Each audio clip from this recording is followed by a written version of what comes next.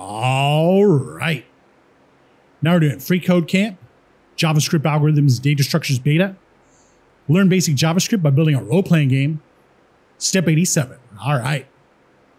So now we're going to use bracket notation to access an object within the weapons array and assign it to our new weapons variable.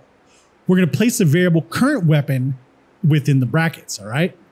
Uh, when we use a variable in bracket notation, we are accessing the property or index by the value of that variable. So in this case, current weapon is zero, but in our case, it's going to be current weapon plus plus, so it's going to be one or whatever, right?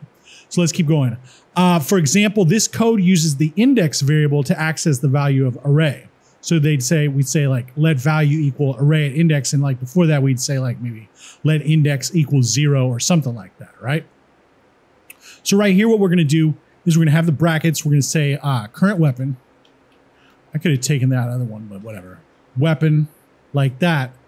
And what this basically equals, let's do the little uh, comments. This is basically saying uh, weapons at one because we know current weapon equals zero to start off with. All right.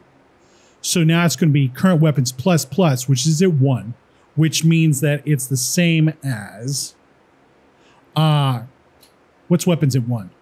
Weapons at one, which is dagger. So it's going to be the dagger object, all right? So we'll just say the object dot dot dot. Is that enough dots? Yeah, good. Dagger, like that. So that's basically all this is saying right here. So let's uh, check the code. Looks good. And submit it. All right. Now we're on to step 88, and we'll see you next time.